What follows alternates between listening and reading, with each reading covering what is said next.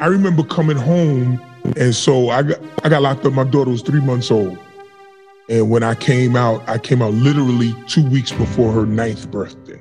And I remember coming home and being asleep, and you know, first the uncomfortableness of sleeping in the bed with someone because you know my wife was there, and my daughter was so happy that I was home. She comes in the room and she's standing over me. And it's like five o'clock in the morning. And in my mind, all I knew was somebody's over me. And I grabbed her.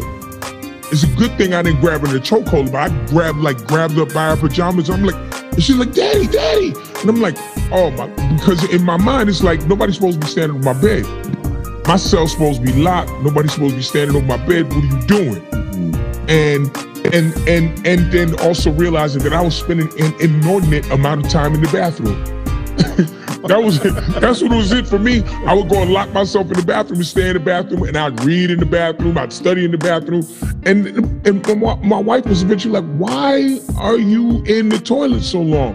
And I didn't realize that that was my way to isolate myself, wow. to get away from everybody, so I could so I could readjust and regroup mm-hmm. to be able to be around people and you know and it was it was difficult